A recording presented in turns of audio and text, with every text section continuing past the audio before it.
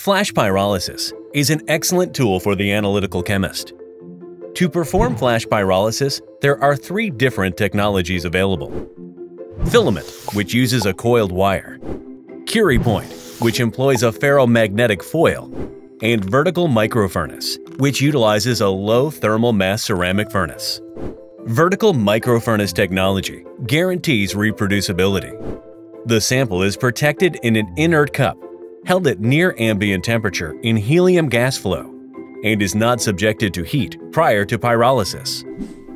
The microfurnace is heated to the desired temperature, which is precisely measured with a thermocouple sensor, located next to where the sample will be pyrolyzed.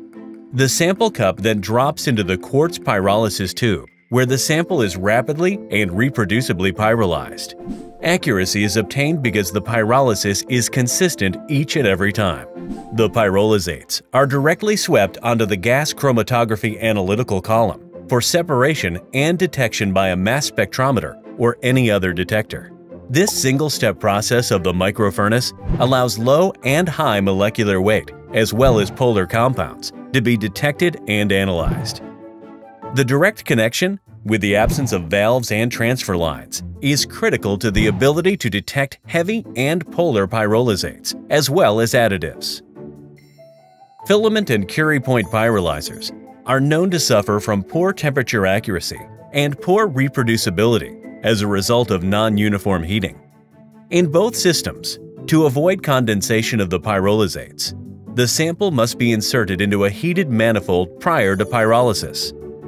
This preheated step has the potential to cause denaturation, degradation, or thermosetting of the samples prior to analysis and may result in poor reproducibility. Some filament pyrolyzers use a two-step process in which some of the pyrolysates are first collected on a trap.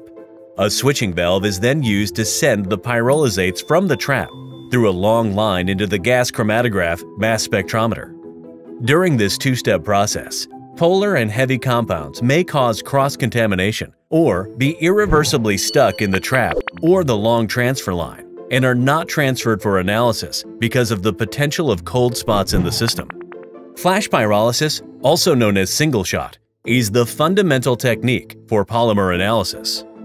Vertical microfurnace technology performs true flash pyrolysis, where sample introduction is instantaneous and heavy and polymeric materials are reproducibly broken down into smaller fragmentations called pyrolysates.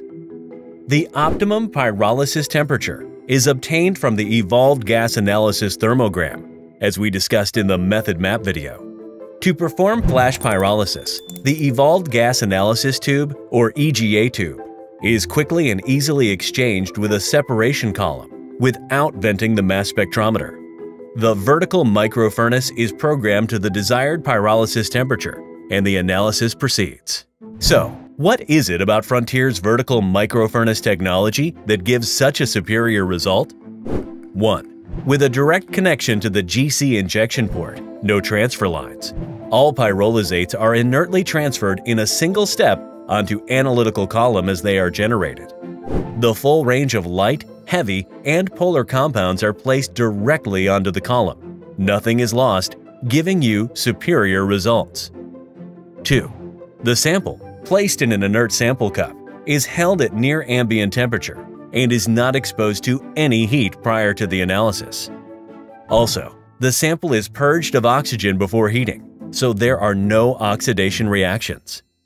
Therefore, there is no chance of evaporation, degradation, or thermosetting of your sample prior to analysis, giving you superior results.